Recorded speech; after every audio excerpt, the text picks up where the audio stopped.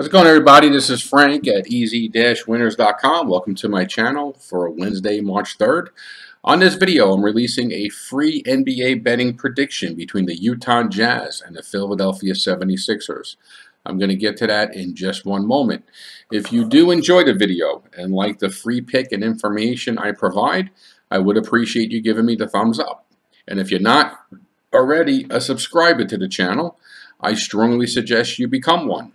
You'll be notified every time I post a new video. There's always a free selection on them. And if you do monitor these picks, you will find over the course of a week or a month, they will show you a small profit. If you like to take advantage of my strongest play today, that's my premium prediction. There's two ways you can receive it. These games do have a value to it, but initially for the first time, I'm going to give it to you complimentary from me to you at no cost. So you can make money with my best bet today before you make any type of investments with me. All right, let's get to this game. The Jazz are 12 and 6 on the road, 11 and 7 versus the spread. 10 out of their 18 away games have gone over.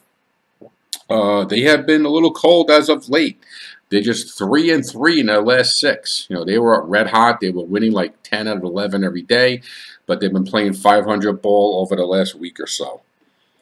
The 76ers are excellent at home. They are 15 and 3 straight up, 12 and 6 covering the number, and 11 out of their 18 road games have gone over.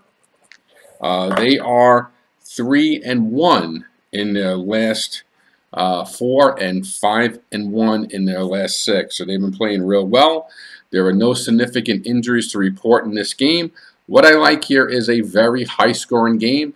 I see this game landing somewhere around 240 total points. So take the over total points combined between both teams as my free prediction. And I do look forward to hearing from you for my top rated play today, which is complimentary also. Good luck.